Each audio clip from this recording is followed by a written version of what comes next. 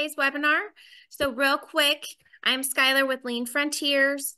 On our screen, you can see Oscar and a few of the people from Story Construction. You will receive a link from me within 24 to 48 hours um, to view the recording. And I think that's all from me. Oscar, your turn. Good on you. Thank you, Skylar. And the kids kept quiet in the background. That's, that's okay, good. Very well, very well managed. Uh, so as I always say, thanks, Skylar, that work that goes on in the background and Jim to, to a certain extent to bring these to life is important to acknowledge. So thank you for that. So we've got three people from Story Construction. We've got Mitch Anderson, who's the Marketing Development Manager. And we've got Brant Carr, who's the pre-construction manager, and Troy Turner is the senior project manager, all from Story Construction in Ames, Iowa. So before they talk, I'm just going to set some foundations and I'm going to introduce a model uh, that really forms the basis of what's been happening at Story in this uh, field.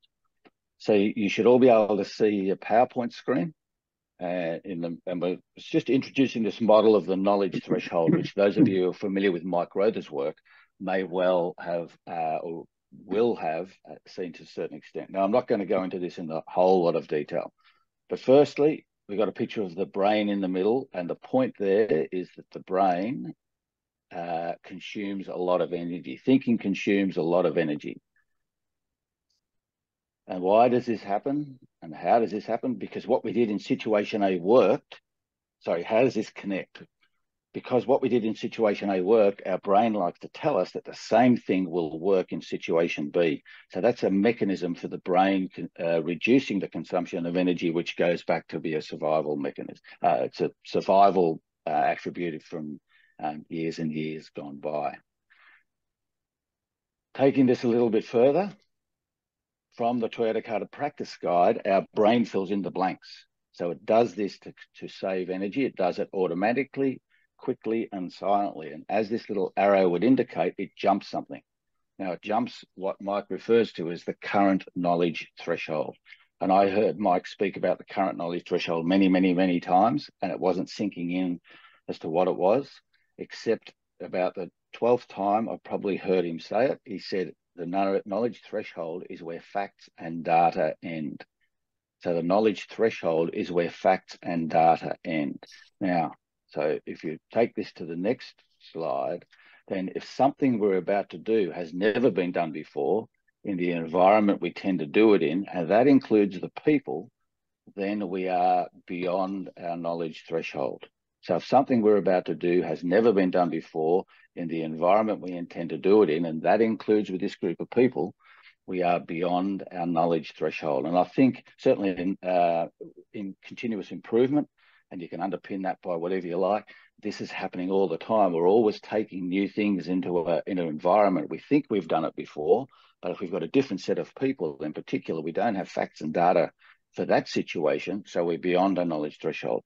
The point, therefore, is that many actions perhaps would be better approached as experiments.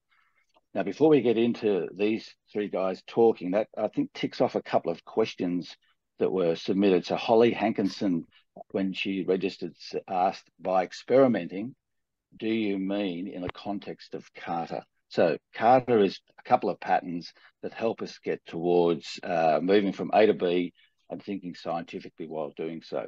So if we uh, if we acknowledge that's what Kata is, and we we want to get from A to B scientifically thinking, then experiments are going to be important. Another one was uh, uh, where is it? To Jennifer Dieter said, "Who do you mean by people in terms of story? Uh, anyone in the organisation? Yes, anyone in the organisation. These guys are senior people, and they've been involved, all been involved in practicing workplace experimenting." And the third one was uh, Dan Roth from Go Lean Consulting. He said, I assume there needs to be training on lean, CI, PDCA before the experimenting in the workplace. Is that correct? Uh, no, it's not correct. Certainly in PDCA, but the pull for PDCA comes from whatever uh, whatever mechanism you've got of getting from A to B, whatever mechanism you may may have, and really that's not overly important. So no, in this case, and in I would argue in many cases, there's no need to have that training to start with. because it's a fundamental skill. So I'm going to stop sharing now and hand over to Mitch. And Mitch is going to, uh, sorry, Brant Carr, and Brant's going to talk to us about how Story's structured system of facilitating PDCR, how it actually came about. So over to you, Brant. Yeah, thanks, Oscar. Uh, good introduction. And I, I would say uh, really what we saw was a real need, uh, I'll say, to uh, build some muscle inside of our scientific thinking. So um, Oscar's illustration and the knowledge at threshold really rings true for us. And we could, uh, so we're a, a, construction company, and we could go build the same building a couple of times uh, right after each other, but the site's going to be different. The trades that we're going to uh, are going to go do that with might be different. So the the thinking and the concept of approaching that as an experiment, it might be the same thing that we've done before, but we're doing it with a new set of people, is really disarming. so it just lessens people's anxiety about having to have the right answer or the right thing to be able to go do. So it allows people's minds to be uh, open more, really about trying some different things or some new things or some opportunities to improve. So that was one. And two, uh, we recognized that we really just needed to build uh, some skill set, give some people some tools in their toolbox to about when we say go uh, go do uh, plan do check and reflect. And you'll notice we use reflect and not act or adjust. I'll touch on that in just a minute. But as we say here's the pdcr cycle. We were familiar with those terms. Our our uh, company's familiar with those terms. What we are finding is that really the plans were probably too big. Um, they took too long and their eyes were bigger. Uh, they were taking bigger chunks than what we really needed them to go do.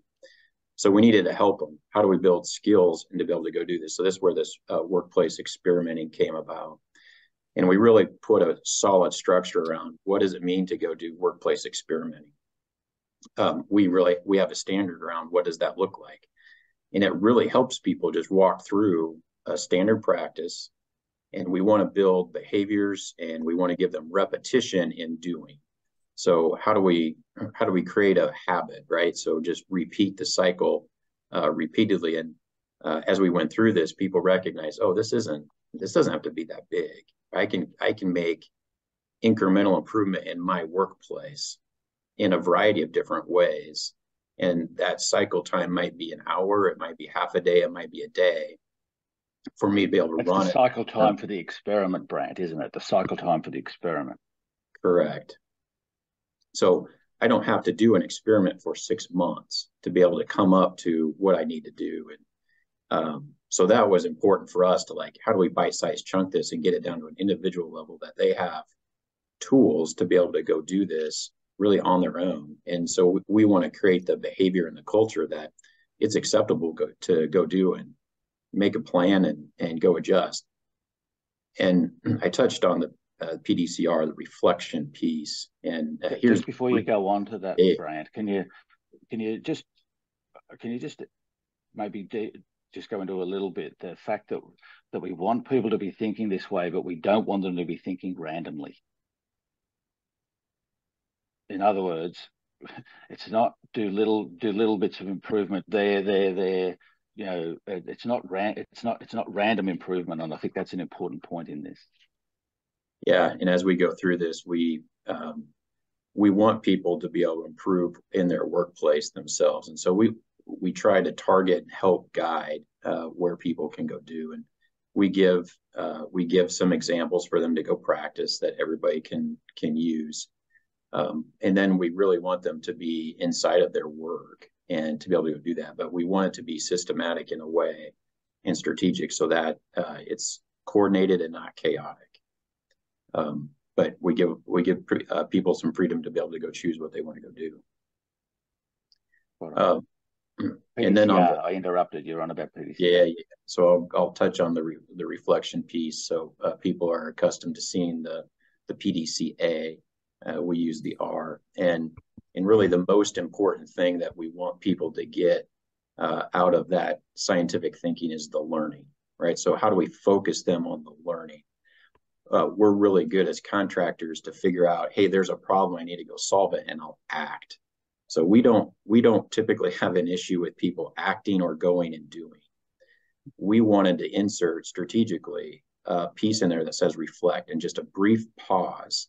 So we want you to go plan the work. We want you to go do your plan. We want you to check against the hypothesis that you uh, that you stated, and then quickly after that. So there's a check, and then we move quickly into reflection.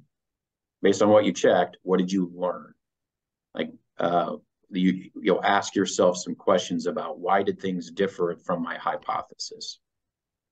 So we inserted the reflection piece, more of a pause for people to say, what did I learn? And then from what I learned, what will I go do next? And that lends itself into the next plan. So definitely a cycle. Um, we uh, with the word adjust or act, uh, people would jump to that next piece. At least that's our, our experience. So we changed it to reflect, uh, help our people uh, just take a little bit of a pause.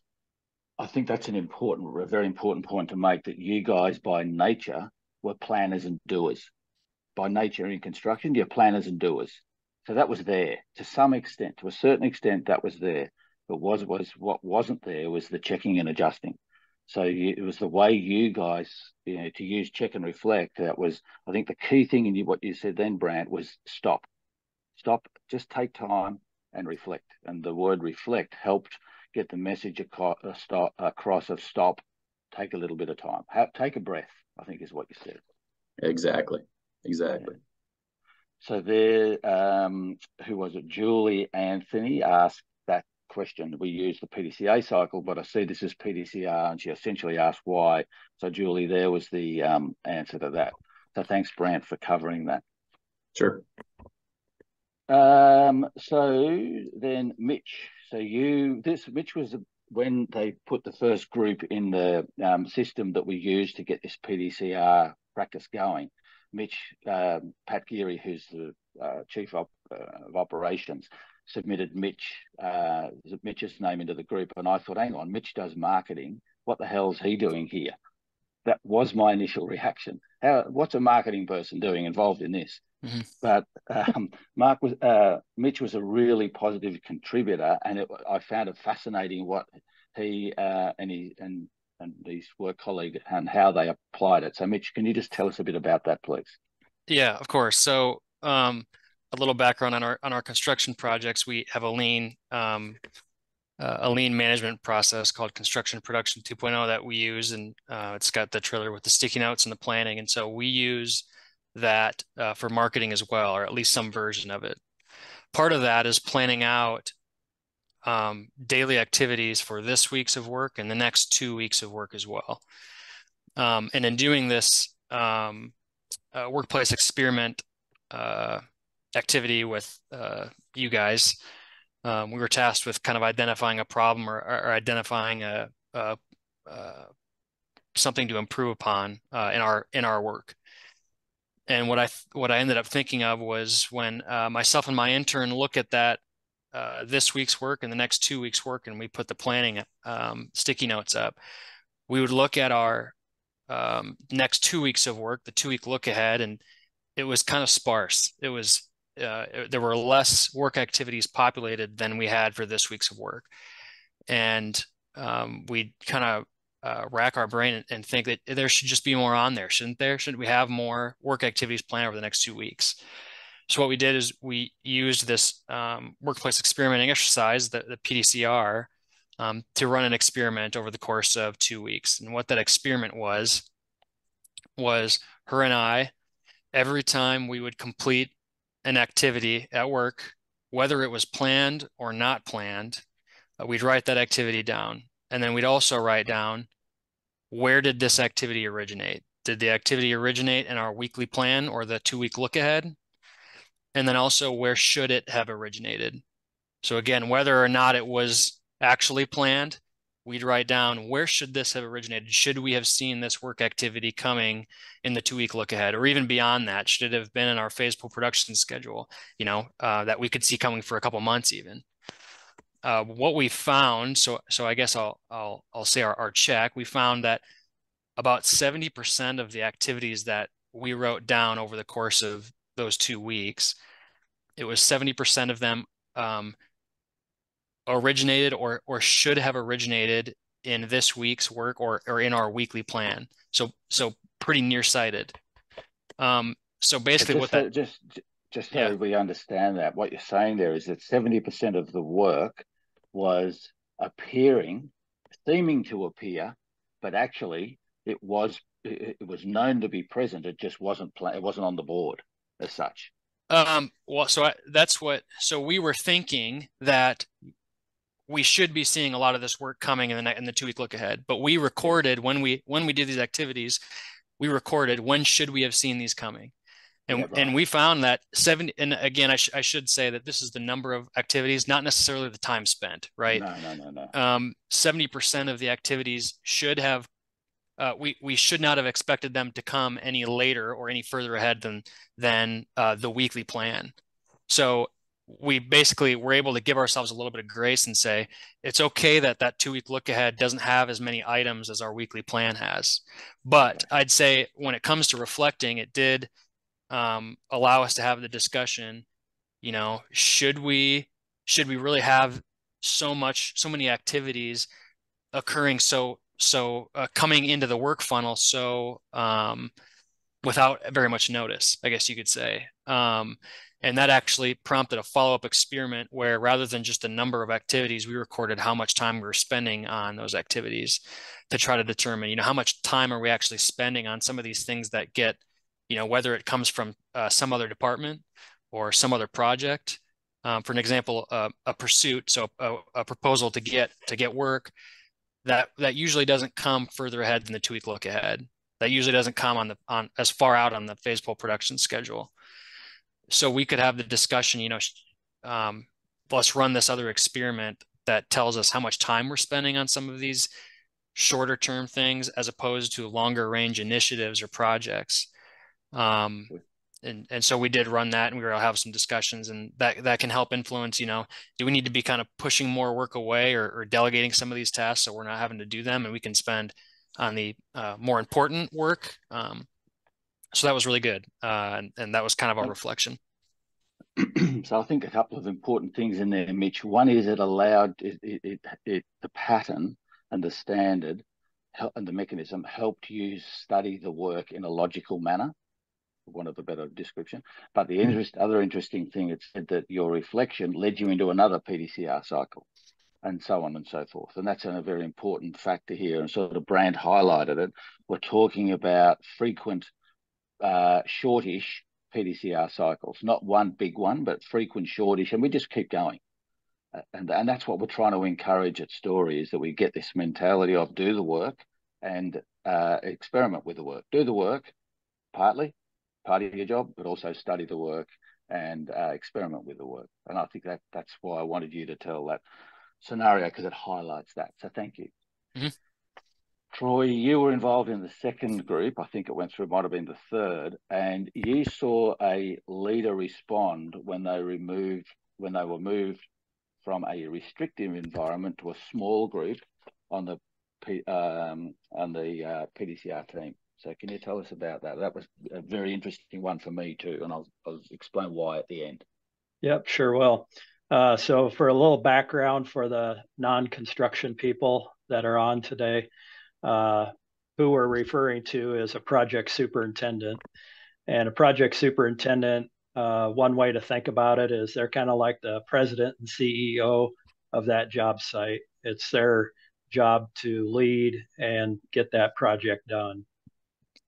Second thing I'd add is uh, this particular project, it's the first time this superintendent and I have worked together, even though we've both been here for many years. So we didn't have a background with each other. Uh, and it's on an industrial site. And our client produces uh, natural gas and ethanol. So it's a heavy construction site. Um, one thing, um, as we started talking about PDCR, the superintendent and I had several conversations around this idea of experimentation. And there's probably two key things of that. One was a lot of conversations about every project we do is really an experiment. Every project is a prototype. We've never built this before, so let's have that in the back of our mind. And one way to think about that is it's beyond the knowledge threshold. We've built similar things, but not this um, particular project. Second thing is um, conversations around we are free to experiment and try new things. So let's try something and see what happens. Um, what I've found is uh, superintendent has really just been, I think, freed up. So he's felt like he's got permission to experiment. And I think that's been helpful for him. Uh, second thing is, in all of this, we're really trying to develop people for the long haul. And that really resonated with this person in particular because we, we were able to kind of look back 10 years and what the workforce looked like then. And there's some things we would like to have changed, honestly, if we could go back 10 years, but we can't. So let's look ahead 10 years and what do we want our leadership to look like in 10 years? And that really resonated with him. And um, so then we've used this PDCR uh, cycle. Um, currently, we're using it to develop people. Um, I think that's a I think that's a key point there, Troy. Is it is one of the it's going to be and it's it's it's it's the vision is for this to be fundamental within anyone who works at Story, um, because uh, you know, because you're continually going beyond your knowledge threshold. What if I could just chime in there? This particular person, without naming names, I'd worked with this person before on a another exercise, and um, without being too disrespectful, the cooperation wasn't overly high. So when I saw this person's name on the list for uh, this particular exercise, getting involved with uh, workplace experimenting, I thought, oh, interesting choice. I wonder why uh, this probably won't go well. Again, so I, classic, I jumped beyond my knowledge threshold. I'd experienced with this person before, but not in this situation. So I did whatever my brain filled in the blanks. And I thought, no, that's an odd choice. Anyway, this particular individual was a extremely positive contributor. It was refreshing. I thought, wow, where did that come from? Yeah. And I think one of the key things you said, Troy, was that it gave this person the freedom to the, the freedom to experiment, but it's not random. It's it's the freedom to experiment, and this is the pattern we're going to follow. It's not random experimentation, for want of a better word. And that was really that was really enlightening to me to realise that um, that it was revealing for me that I jumped beyond my knowledge threshold. Uh, I'd had preconceived ideas, but actually, when you change the environment, this person was an extremely positive and valuable contributor in that group. Yeah, and that's some of the feedback I've gotten. So within our company, certainly we have people that see uh, this individual from project to project, and I've had several comments that, wow, there is a marked positive difference how he is going about his work on this project. Yeah, and so right. that that's that's been neat to see. Good uh, I'll just get into a couple of questions that have been submitted. I don't mind who answers this, but um, of, of, the three of you, James Addis, and this is an important one, how to deal with managers who are expecting big bang improvements. How does that, has that been something that's experienced at Story? I perhaps not, but just which of you, one of you would like to comment on that? How do you deal with managers who are expecting big bang improvements?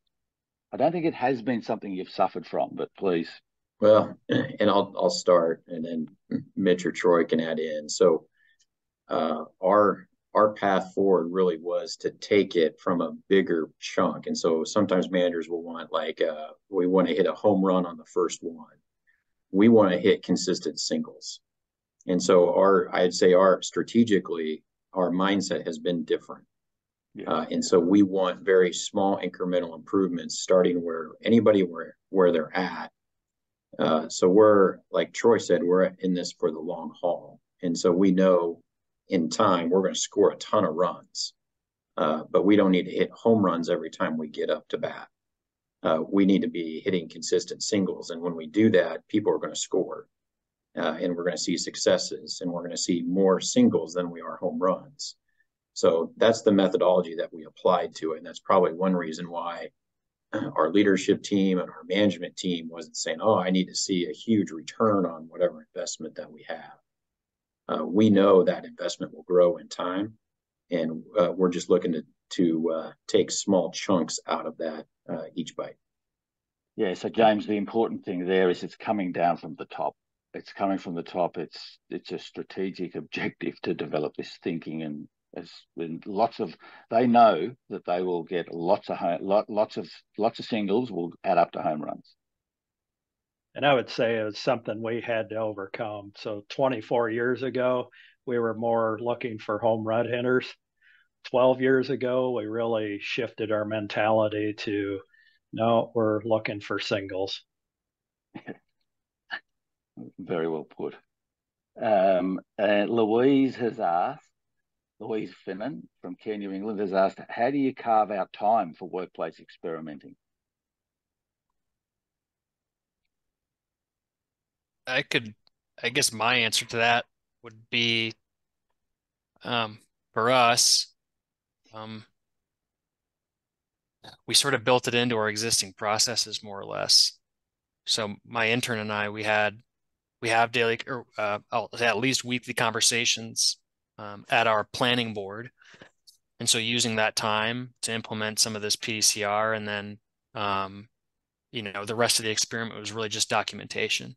Uh, that was that was kind of our personal experiments, and that's that's how I would try to approach it going forward as well. I'd probably add to the question gets to how do you how do you add this in or or that, and I would say we don't approach it as a bolt on.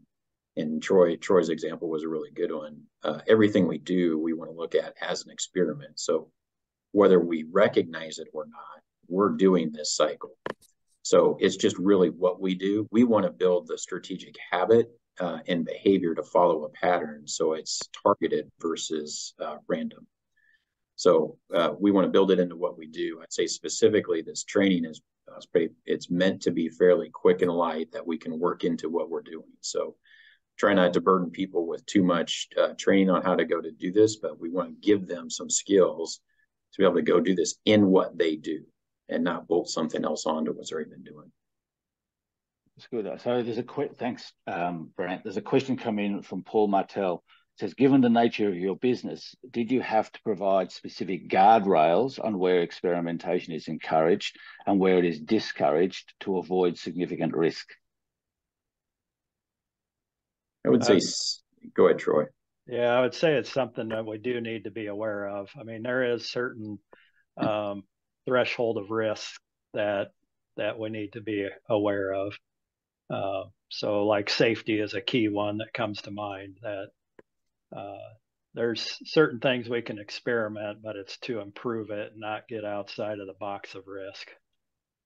And I think I'll throw in there too. So, in this learning system that we have, for getting people started with workplace experimenting. They they they do firstly they do a cycle on their own on a topic we give them, which is very it's interruptions at work. So we give them a topic, they do a cycle. Then they choose their own cycle, but we and then we get back. Then what we ask them to do is do the plan, and then we get back together. So before you do the do, check, and reflect, we're going to come back together once you've done the plan and confirm what it is. There's a, so there's a couple of things there. One is we encourage them to do something very small, and the second on their on their chosen one. And the second thing is we do get them back together and discuss the plan as a group before they do the do. So there's an opportunity there to say, hey, woo, if if there's a high risk, but that hasn't happened yet because we're getting them to focus on small things. I think is probably the reason for that. Um, there was another question uh, Nicole has asked, and then we need to pull up because we're just about there. What was the what has people's initial response to the PDCR program been, or and how did, did their outlook change over time, if anything? So perhaps one of you three can answer that as to what was your initial response and did it change over time? Troy, why don't you take that one? Yeah, so I'll, I'll use my superintendent as an example. Um, yeah, good. Yep, there is a fair amount of skepticism there at first, I would say. Um, it's been overcome. How did we overcome that? For this particular individual, it's about selling them on the future and how this might benefit in the long term. Um, I th- I think that's it. But yeah, sure. I like any new thing. There's going to be some skepticism and some resistance. So then it kind of gets into the JR program, job relations program of Sure. um, how do we overcome that? I think one of the things that's important, and then I've got a slight finishing note, is it when people realise that it actually increases their freedom. It will actually give them a level of freedom in their work to experiment within the box of risk. That's helpful. I'm just going to finish by sharing the screen again, and I want to throw something up. That's uh, in, in Spear and Bowen wrote an article in 1999 called "The Decoding the Decoding the DNA of the Toyota Production System," and in that article, it implies through a few words, uh, or states actually, that the Toyota production system is a community of scientists performing continual experiments a community of scientists form, performing continual experiments. That, as I understand it, is vision is one of the is visionary for story. That's where story are trying to uh, uh, uh, aiming. It's one of the places story is aiming to head over the years to come. Uh, Mitch, Brant, and Troy, thank you very, very much for your time in this, and thank you for the questions that came in beforehand. We've got through some of them, and thanks for the couple of the questions that came in. If you've got any, uh, if you've got any particular questions for any of the three, email Skylar. She can send it to me, and I will put you directly in contact with either with any of these three guys. They're they they are very uh, keen to, they're very willing to help uh, discuss their learnings and and um, what they and how the company's benefiting. So thanks, guys. Much appreciated. You bet. Thanks, Oscar. Thank you so much. Also, just a quick reminder, Story Construction will be at the TWI and Kata Summit coming up in April, and Oscar will be there as well. And also look for a link from me within 24 to 48 hours. Thank you all so much. Have a wonderful rest of your day.